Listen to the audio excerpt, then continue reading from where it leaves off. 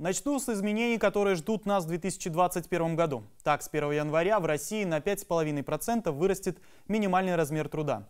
Он составит 12 792 рубля. Больше чем на 6% вырастет пенсия по старости. Сумма ее теперь будет 17 443 рубля. Увеличится материнский капитал на первого ребенка на 17 тысяч рублей, а на второго на 5,5.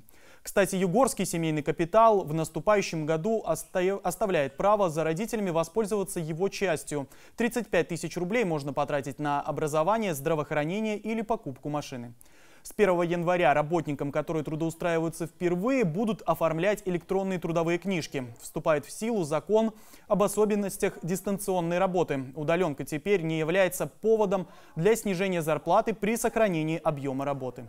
И еще в стране меняется система выплат по больничным.